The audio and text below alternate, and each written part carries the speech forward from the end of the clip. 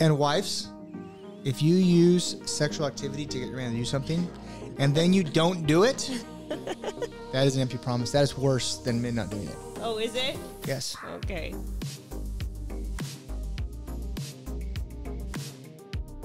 We're not getting in a fight. I know. Like we I'm- started the podcast. We're not getting in a fight. You're annoying me. Just go with it. Welcome, welcome to Life in Abundance. I hope our uh, camera guy Kevin does not cut the last thirty seconds out, where he, that's where he starts at, because this is real life. Um, what did you say? I'm not. We're not getting in a fight. You're just annoying me. Yeah. I don't I feel like there's anything to fight about other than just don't be annoying. That is the title of the podcast. Don't be annoying. And you want to know what really Mark, annoys not me? not Bree. Mark. Yeah, Mark, don't be annoying. What really annoys me is unfulfilled promises. Don't be like, I'm going to do this and not do it. So let's talk about that today. This is kind of like a date night chat. These are the kind of things we talk about on date night, right? Yeah. Well, most time on date night, we just meet people at the bar that we're sitting at, and then we end up just becoming friends with them. yes, this is true. That happens. But then we ask them these weird questions also. Yeah, we, you can usually tell if they're if like they're gonna like us within the first like two three questions because they're either like they either talk or they don't. Yes, it's like- true. There's like get away from us. Exactly. It, this is true. For the most part, I feel like we engage with other people well. Yeah. On empty promises, I for me, it's I didn't I during our marriage I made a lot of promises that were empty, but I didn't it, it didn't start out that way. Right? I don't think anybody makes a promise to not fulfill on it. Yeah, it's And an I- idea. It's an idea, yeah. And I mean, for me, uh, what it was for a lot of guys, I think what was happening was, or what's happened, is that you make all these promises and you realize like how committed you have to be, how much you have to do, how much you don't want to do, and you just say, screw it, don't do it. Yeah. The truth is, you decide you don't want to do what's required. Exactly. Yeah. I'm kind of a doer myself. And so that more than anything annoys me when it's like, hey, let's not just talk about it. Let's do it. Let's take action. And sometimes that backfires on me. And my sister and I get into this fight actually all the time as I have this idea and I don't think it all the way through. And we start the process. And then in the middle of it, I have to course correct because the outcome isn't actually going to be what I thought because I didn't lay all the foundational pieces first. So I'm definitely guilty of that. I maybe will start a project and take off because I want to do, do, do, but I don't think it all the way through. But I'm not an overthinker. So there's a trade off for that, right? So oftentimes I would say that you, in most cases in our marriage, overthink a process and then it just doesn't happen because you're debilitated by thinking and don't actually take action. Where then I'm the opposite. And I'm like, all right, I don't need to think about all those details. They're irrelevant right now in this moment. What I need to think about is the first step, and I can do that right now. So let's go. And then that has sometimes backfired on me also. Like building this business. We're going to start this salon. It's going to be great at 21 years old. Let's take off, not really having any sort of like business experience ourselves. And so we get in a position where we start building this business and it's great and we're making money. And then what happens when you make money? You have tax problems. I didn't exactly plan for the tax problems. And that was a huge lesson to learn in the process of building our business, right? That So- it was, yes. Yeah, we were 23, 24 years old, something like that at the time. And we got a call from our CPA. And he's like, hey, Mark, so yeah, your uh, tax liability is blah, blah, blah. And Mark's like, I'm sorry, what?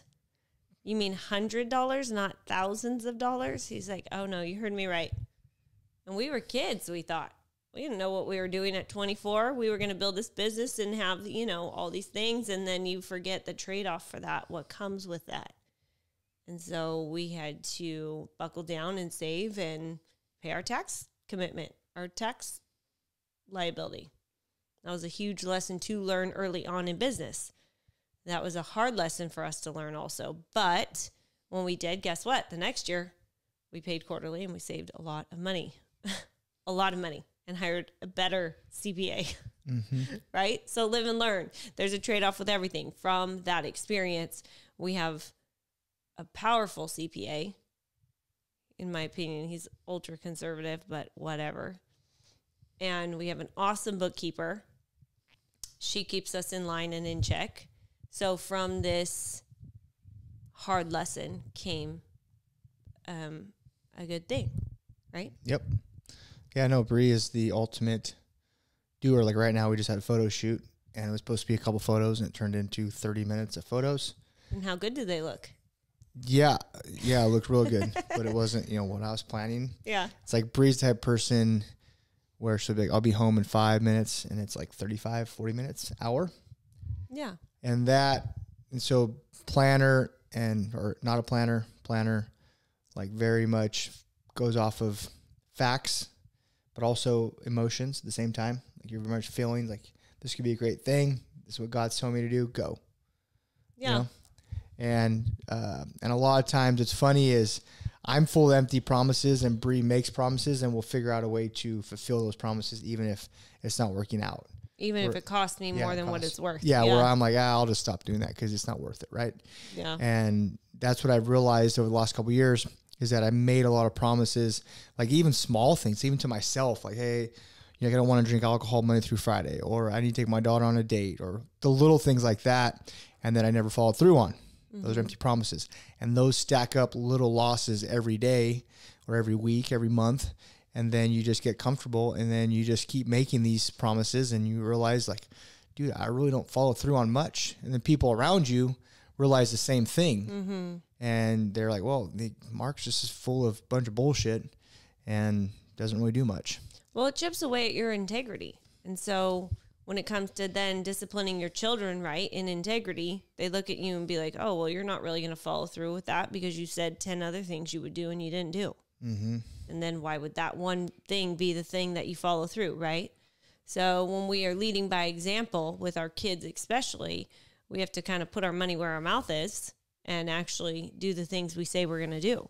So we actually do this thing in, uh, we call stacking. It's a journaling, basically walk and talk with God every day. And in my discovery stack, I sent it to Mark the other day. Is I'm not following through through with one of my commitments and a key piece to that is that we drink alcohol at the end of our day i have a glass of wine with mark he has his little glass of tequila then we get lazy we don't finish the commitment of the evening, whether it be reading our Bible together or just having committed quality time together or laying with our kids and reading the Bible to them or a story to them or whatever. We get lazy and it's like, okay, bedtime, say our prayers and go to bed.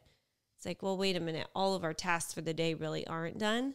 And I hate to look at it as tasks, but these are things that we're investing in in our life to add value, not just to us, but our kids.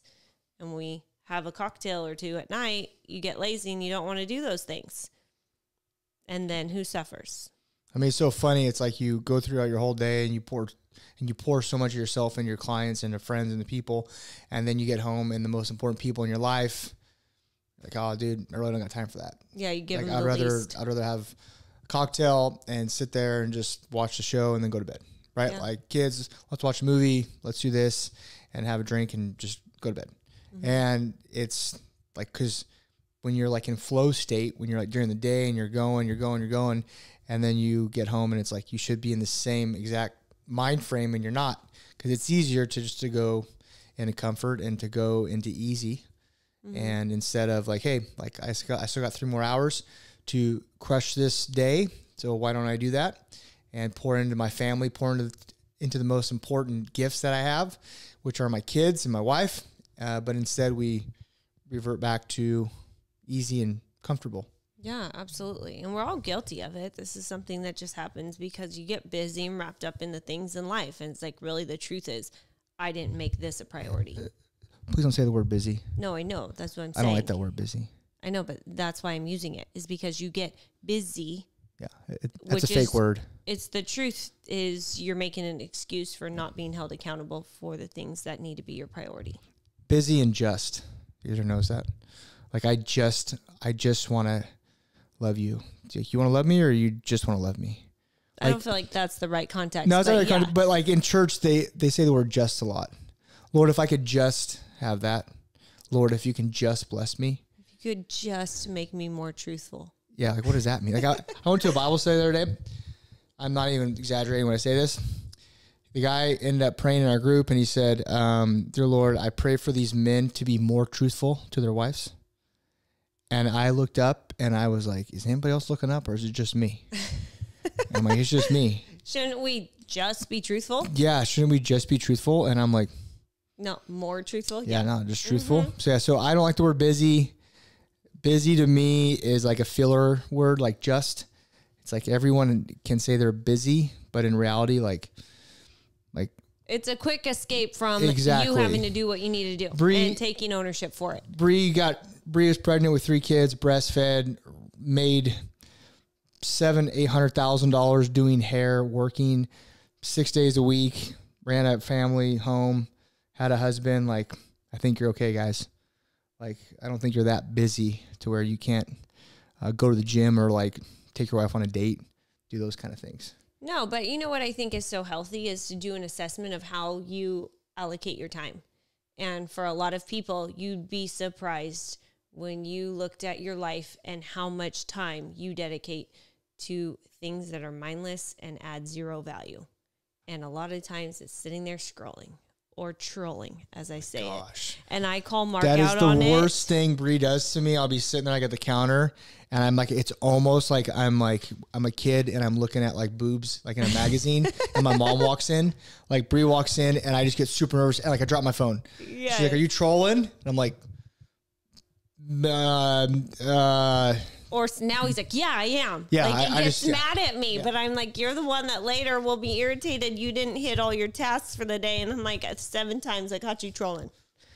So no troll if you haven't got all your tasks done. Okay, they all add up. But for me, I know in business, especially, I run a social media for myself, for my salon, and I have to sit down and decide is this time to consume or create and be very disciplined in that. Otherwise, I too get in the busy category and I don't do what I need to do. So by the end of the day, I'm mad at myself because I was so busy, I didn't get my tasks done. In all reality, I didn't take ownership for the time that I had allocated for that specific task. And now I'm mad at myself. And then I blame other people. yeah, it's like the worst people at the gym that are there for like two hours and they like brag about how long they're there and they're still fat or they're so out of shape. Well, I mean, I go like I just don't I don't understand that. Like there's one guy and he ended up becoming he ended up becoming my client and I was just talking to him for a couple weeks and he's talking about eating and all this stuff and he was trying. He's he's you're, you're obviously at the gym trying. yeah. And I just walked up to him. I said, "Hey man, I have a question for you." He's like, "What's up?" I said, "Why is it you come three days a week and you look like that, and I come every day and I, I look like this?" And he's like, "I don't know. I never thought about that." I said, "Are you just coming to the gym just to like be Check here?" the box. Yeah. He's like, "Yeah, exactly." And then so I challenged him, and when wi- within one month, um, he lost like 15 pounds in one month just by pushing himself at the gym. It's like when you're intentional about your time, if that's from the gym, what time you wake up in the morning, to what you eat, to how you date your wife, to how you look, especially men, how you look. It's embarrassing how like people look sometimes um, because it's like, hey, take pride in the way you look. Like, don't wait two months to get a haircut. Get get a haircut every three weeks. Like those kind of things matter. Well, it's just care. For Yeah. a long time, you didn't care. No, Yeah. For a long time, you didn't care. I He pride in it. not caring. Yeah, he faked it. Like I'm really proud of my dad bod, but like, are you really? Are you really? Because if you had to size up, I came up with every article. I came up with every article how dad bods are more uh, sexy to uh, females to justify to, your to justify my actions. no to justify your dad bod. But yeah, yeah, no, that's what I'm saying. Just Oh, okay, actions. yeah, yeah, yeah, like dad bods. Like, and what's funny is like most of my buddies had dad bods because we were like thought it was cool. They didn't think it was cool. You were the leader, and you led them to believe it was cool. Okay, you don't gotta go, go so truthful. Okay, we're listening to the podcast. Okay, just be a little more truthful, not totally truthful. Right? Did you guys hear that uh, tone was uh, that pain point was triggered by Mark right now when we were dropping truth bombs? Kevin in the back here is dying because he doesn't want to look up and make Mark laugh because he knows I'm right. Right, Kev? He's nodding behind the camera here. No, but the reality is you made it seemed cool so you could justify the way that you were living your life, right? yes, Exactly. How many times do we do that in business? Yeah. We justify being late The truth is, you're not being a good leader because you're late. I'm Mm-hmm. guilty of it all the time. Be on time, but then I'm freaking late. What kind of example is that? Chipping away at your integrity every single day is not going to get you places that you want to go. And it's a lot of empty promises. And I feel like the worst ones are the ones made to yourself. Oh, 100%. like for me, I had to do a hard check when I was like, "Hey, I need to get up at 4:30 a.m. I need to have this done by 6." And when I slept in for those 15 20 minutes, when I skipped the gym, those are little losses that I take every day that add up to big losses in the long run. And it's just another empty promises. It's it's a subconscious thing that you're like, dude, like I don't follow through and even if it's the smaller things. And so when you make big promises to your wife, to your kids, whatever it might be, you're like, well, I, I did it again. And you just come to expect that you're just not going to follow through on what you say mm-hmm. because you just, even the little things matter. And that's why like going to the gym with a purpose, eating with a purpose, taking your wife on a date with a purpose and a plan, and business with a plan, taking your kids on a date with a plan. Like those are all things that sound so like simple, but they need to be executed on because if you do not do them, they're empty promises, which then creates scarcity, which then creates like an uneasiness with everyone around you and the people that are in your life. Well, I can speak from where I stand as your wife. I still am dealing with, I say, trauma from living in a marriage for a long time where I felt like you didn't value yourself 100% and or me and you weren't living up to being the man that you promised you would be. And the repercussions of that were disconnection, nearly divorce. And so now I never want to get back in that position. And by not fulfilling even a promise to yourself of getting up at 4:30, if I hear him getting a slow start to the morning, it naturally just triggers this insecurity in me like, wait, he's supposed to be up already. Why is he not up? Because then I'm thinking, what else in his day is he not going to follow through with? Because I lived a life that was full of days like that, right? And so when there's little things like that that don't happen, they lead up to bigger things that then in the back of my mind get me back to a place that I never want to go again. And that I've made a conscious effort to work my way out of alongside you. So, as silly as you think the little things are, the impact that they have on our marriage is substantial and those little things actually allowed us to be where we are is you didn't have to make this huge promise to be this this or this it's every day i wanted you to work on you for you and you showed me that you were by doing the little things and that added up to like a full life transformation which ultimately transformed our marriage Yeah. I mean, at the end of the day, wives just want men to do what they say they're going to do. Yeah Like if the wife goes, "Hey, hang up that picture," and you're like, "Okay, cool, I'll do that," and it's been two weeks since you've hung up the picture, she just wants you to do it two weeks ago. Like if she's like, for example, my brother-in-law and my buddy went to a sports bar here in town last Sunday to watch a couple couple of football games, and they want to go at noon, and then they wanted to go to his house afterwards by like at three or four o'clock to watch the afternoon game. And I was like, "Yeah, dude," you know, like I texted my men. And it was funny because a part of me in back of my mind is like, hey, Mark, if you go to this bar at noon, and even if you behave yourself, you're still going to have three or four drinks. And then you go to his house, have a couple more. It's like it's just not adding value to your life. And I like had to think about those things. And then I was like, you know what? I got some work to do.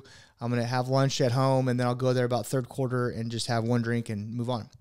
So I went to the uh, bar and had one drink and they were sitting there hanging out. And um, my wife calls me and says that she needs some cash because she was on her way by the bar and they're going somewhere. So came outside and my middle child, who's four, she wanted to come inside because one of my buddy's uh, kids was there.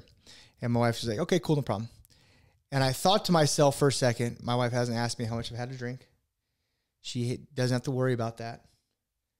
And because before it would have made an excuse that say like sorry you can't stay with daddy because i don't know how much he's had to drink and i'm not going to ask him and even if i asked him i still wouldn't believe him Yeah, because it was like empty promises. I was like, I'd be like, I'm good, I'm good, I'm fine, and I wasn't really. And so things like that that add up over time, guys that you don't think are a big deal, they're a huge deal. Because she dropped my daughter off, and then I asked her the next day. I was like, "Hey, like, did you realize you dropped sail off?" And she's like, "Yeah, I knew that." And I drove away in peace. Yeah. And I haven't been able to do that in a long time in our marriage. Yeah. And what's that worth, guys? Like to give your wife peace because you say because you do what you say you're gonna do. Like four or five years ago, I was like, nah, that's whatever. Now that I ha- now that I have it and I'm doing it, like when my wife goes, "This is what I want done," I'm like, "Okay, cool." Whereas before, it would have had her take me three or four times to ask me, and I just do it. It's like it's so much better.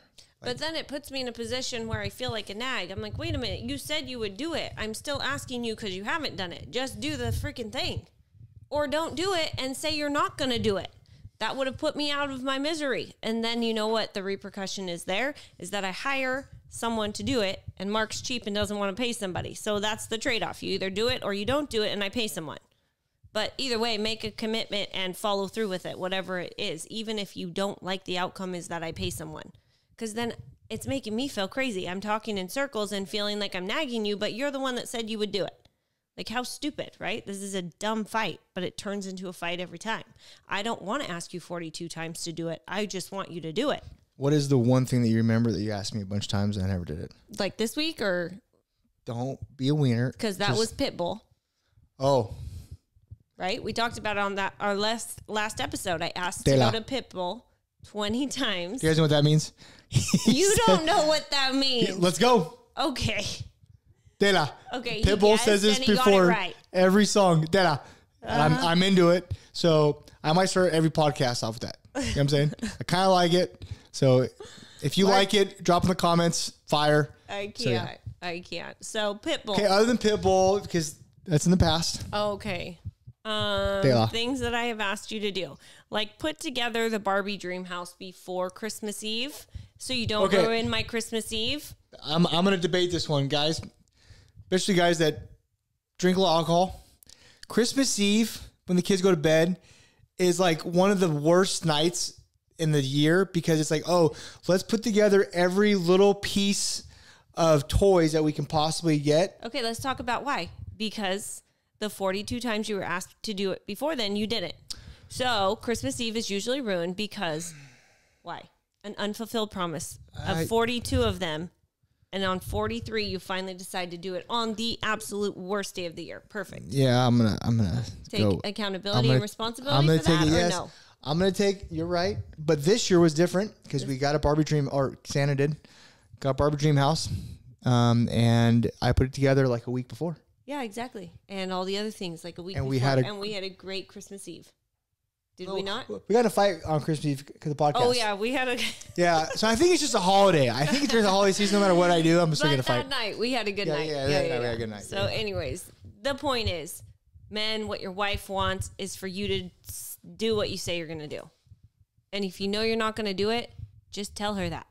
I would rather have that fight than feeling like I'm nagging you to do something you said you're going to do that clearly you're never going to. And wives, if you use sexual activity to get your man to do something, and then you don't do it, that is an empty promise. That is worse than men not doing it. Oh, is it? Yes. Okay. Well, how about this? Don't be a slapdick and do what you say you're going to do, right? I man, I do have to say, if you do what she's asked, ninety nine percent of the time, you'll get rewarded the right way. Not saying that's what you do it for, but you will. Because before there were a lot of empty promises on both sides, mainly with me, and I got what I deserved. I was nervous where that was going, but this is just the reality of being married. And Where'd you think it was going? I don't Would know. your mind in it the got gutter? weird for a second. Yeah. Mine's in the got gutter? weird for a second. How dare you? Uh huh. So, anyways, now that you're making me nervous, I just want to say, Mark, you've stepped up your game and you definitely are putting me at ease and I feel at more peace knowing that when I ask you, you got this, you say yes, I feel better and knowing that you're not lying. Because, Sounds so simple. like- yeah. It really does, and it's probably the hardest thing for men. Is that, and you probably ask, well, you do a lot of women's hair, so you know, Mm-hmm. it's like, it's like what every woman desires. Like I used to think it was money, six packs, like whatever it is, like big home, cars, and that's all great. But at the end of the day, they just want you to do what you say you're going to do Yeah. and and not do it because you want sex or because you want something, but that you truly want to be there. Like I yes, I don't want to always do photo shoots and do those things, but at the end of the day, it's like it's what my wife wants to do, and it's not going to hurt me. And she does things that she doesn't want to do. It's a give and take, but at, at the end of the day, it's like we are both fulfilling each other, and there's so much more peace with that. And you do it selflessly. Yeah. And don't make the other person feel bad about it. Yeah. There were a lot of times when I would do crap I would make Mark feel bad about. And that was kind of like a weapon that I would use like against you. It was horrible. Mm-hmm. Now I don't feel like I even want to do that. Now looking back, I saw so many times that I did do that though. So I just I like being in a different place and what that requires is us to follow through. Yeah. hmm So men, stop making promises you can't fulfill on, or just make promises and fulfill them. Do them. Like even the small stuff. Like that's what I'm talking about. I'm not talking about the big stuff. Small stuff. Date night. Go on day nights. Uh, if you say you're gonna put the um, if you if you're gonna put the picture up, hang a picture up. If your wife asks you to do something, do it then. Don't wait a week. Pretty simple. If you say you're going to, or just be to, honest yeah. and say I'm not actually going to ever do that. And there are things Yeah. that you have told me that, like, no, I will not ever Paint. be doing that. Paint. I Yeah. hate painting. Yeah. Not doing it. Yeah. Well, that is the podcast. And thank you for listening. If you're on YouTube, hit a little subscribe button and uh, give us a like. If you're on any podcast platform, Spotify, Apple, anything like that, please give us a like and a subscribe. We'd appreciate it. As in, as in the words of Pitbull, Dale. and uh, God is good. We're out. Bye bye. Dale. Ollie.